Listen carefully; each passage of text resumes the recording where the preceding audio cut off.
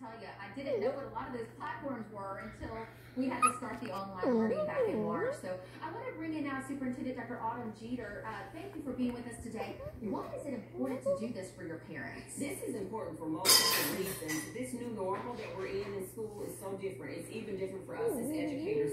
So we want to make sure that our parents are comfortable, that they understand how to guide their children in the learning, and that they don't get frustrated. So this is a, an avenue for them to either vent or learn.